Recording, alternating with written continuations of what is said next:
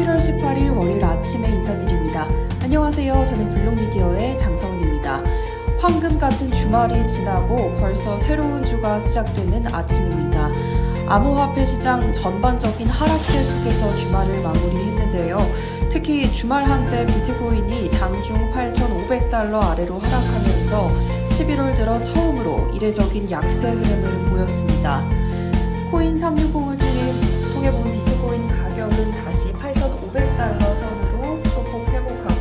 대부분의 코인은 초록불을 켜고 반등 시도하고 있긴 하지만 전반적으로 낮아진 가격을 염두에 두었을 때 당분간은 좀 추가 후퇴 가능성을 열어두고요. 다지기를 목표로 삼아야 할 것 같습니다.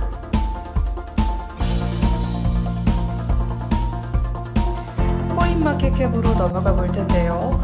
코인마켓캡에 공시된 암호화폐 시가 총액 2,380, 2,380억 달러. 비트코인 점유율은 65.9%입니다. 상위 10위, 10위까지 코인들 모두 상승하면서 반등을 시도하고 있는데요. 특히 코인 대장주격인 비트코인은 1.78% 상승하면서 어, 8,690, 8,689달러의 거래가 되고 있습니다. 이외에 최근 홀로 상승세를 타던 체인링크 그리고 네오는요 지금 하락세를 타고 있는데요. 이외 하락세를 타고 있는 디크레드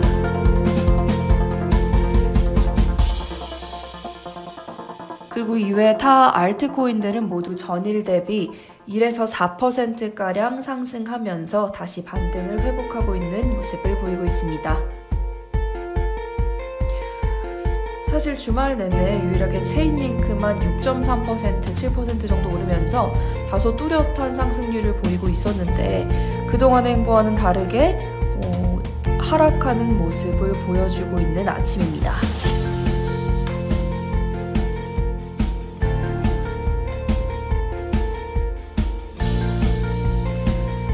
시장 살펴보겠습니다. 국내 시장.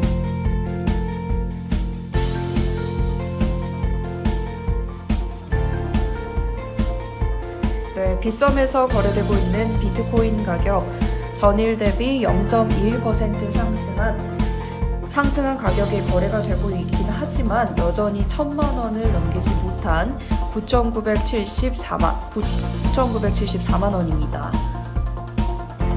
이더리움 또한 지난주 초반 한때 22만 원까지 올라갔었지만 상승세를 이어가지 못한 채 21만 5,700원에 거래가 되고 있는데요. 어, 타 알트코인들 대부분 빨간불을 켜고 있긴 하지만 어, 아직까지 주말에 반납했던 분을 다시 찾아오기 위해선 조금 더 힘을 내야 될 듯합니다.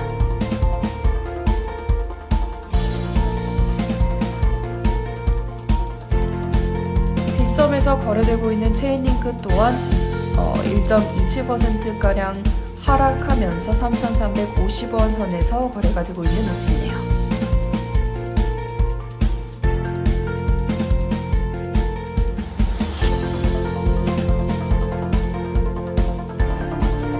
업비트에서의 코인 동향 또한 비슷합니다. 다만 현재 시장에서 가장 높은 상승률을 보이고 있는 아르고와 어, 디크레드 그리고 잠시만요. iOST는 지난보다 60점 네, 16% 상승한 12.3원에 거래가 되고 있는데요. 아, 지금 현재 입출금이 막혀 있는 상황에서의 상승률인 만큼 조금 유의하셔야 할 것 같습니다. 이외 디크레드는 1.43% 하락하고 있고 비트코인 SV는 0.14% 하락 네오가 2.21% 하락해서 14,130원 선에서 거래가 되고 있는데요. 나머지 크게 유의미하게 눈에 띄는 하락률을 볼 수가 없고 대부분은 빨간불을 펴고 다시 반등을 시도하고 있는 모습을 볼 수 있습니다. 높지만 않지, 높지는 않지만요. 이런 식으로 살짝씩 오르고 있는 모습 보실 수 있습니다. 주말에 간추린 뉴스 소식 전해드리겠습니다. 첫 번째는 미국 소식인데요. 미 금융범죄 단속국이 암호화폐 대상 미국인의 자금 세탁 방지법을 엄격히 시행할 것이라고 말했습니다. 어, 현지 시각 11월 16일 외신 코인 텔레그래프 보도에 따르면 미 재무부 산하 금융범죄단속국 핀센 핀센의 케네스 블랑코 국장은 암호화폐 산업에서의 자금 세탁에 대해 경고의 메시지를 전하며 엄격한 법 시행이, 법 시행이 진행될 것을 발표했는데요.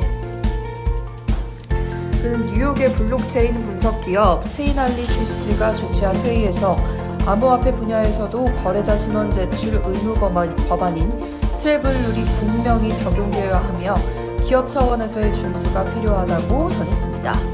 네, 케네스 블랑코는 체인알리시스 회의 발언 중에 이 규칙, travel rule을 의미하는 이 규칙이 어, convertible 가상화폐인 CVC에 적용되며 기업들의 자발적인 준수가 요구된다고 말했고 또 이는 거래 과정에서 이름 주소와 계좌, 거래 금액 등 기본적인 정보를 제공하는 것으로 전혀 새로운 법안이 아니며 산업에 충격을 불러오지 않을 것이라고 말했습니다. 또 지난 10월 그는 조지타운 대학에서 진행된 핀테크 컨퍼런스에서 암호화폐 관련 기업들도 기존의 자금 세탁 방지 규제, 규제들을 준수해야 한다고 언급하며 철저한 감시가 진행될 것이라고 경고한 바 있습니다. 네, 계속해서 미국 소식인데요. 미국 국세청이 비트코인 ATM 키오스크 관련 범죄 조사를 착수했습니다.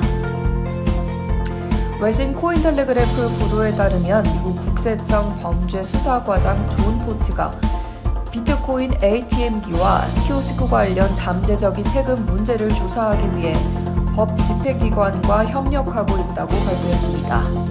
존 포트는 입장 발표문 중에 우리는 비트코인 ATM, 키오스크의 은행 계좌 연결 여부를 조사하고 있습니다. 다시 말해 여러분들이 ATM이나 키오스크를 통해 현금으로 비트코인을 인출할 수 있다면 우리는 기기를 사용하는 사람과 자금 출처 그리고 기기 운영자들과 관련된 정보에 관심이 있다 이렇게 말했는데요.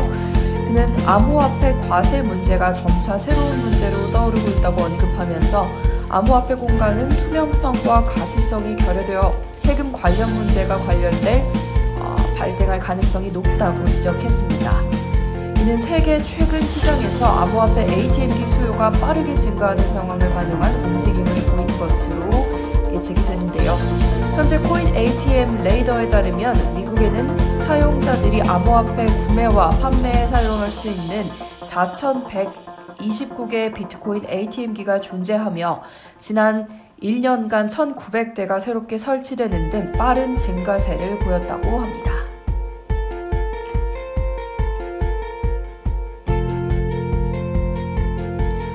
세 번째 소식 또한 미국 소식입니다.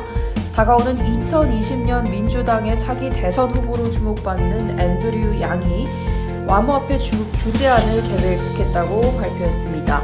그는 아시아계 대선 후보로 주목을 받으면서 꾸준히 지지율을 상승시켜 현재는 약 3%의 지지, 지지율을 기록하고 있는 대선 후보인데요. 그는 자신의 공식 블로그를 통해 암호화폐 산업에 대한 규제 부족이 산업 내 피해들을 발생시키고 있다고 지적하면서 새로운 시장 개척을 위해 빠른 규제 확립이 필요하다고 언급했습니다. 그의 블로그 게시글 중 일부를 보면요. 우리보다 앞선 규정을 가진 다른 국가들이 이 새로운 시장에서 선두를 달리고 있습니다. 이런 규정들이 새로운 시장에 적용된다면 미국은 이를 뒤따라가야 할 상황에 놓일 수 있습니다. 이렇게 말한 바 있는데요. 그는 암호화폐와 디지털 자산들이 이미 많은 경제 활동을 구성하고 있다고 얘기하면서 국가적인 규제 기준이 확립되지 않고 또 기관들이 상중하는 반환권을 주장하는 등 시장 활성화에 장애가 되고 있는 문제점들이 존재한다고 짚어냈는데요. 또한 리브라 관련 주커버그 페이스북 CEO와 대담한 금융서비스위원회를 언급하면서 현재 정부 관계자들이 블록체인이나 암호화폐 같은 혁신적인 기술들을, 기술들을 이해하고 있지 않고 또 효과적인 규제를 위해서는 새로운 기술을 이해하는 것이 필요하다고 지적했습니다. 앤드류 양은 지난 9월 그의 주요 공약 중 하나인 보편적 기본 소득을 비트코인으로 지급하고 싶다고 언급하는 등 친암호화폐 성향을 지닌 대선 후보로 여겨지고 있습니다.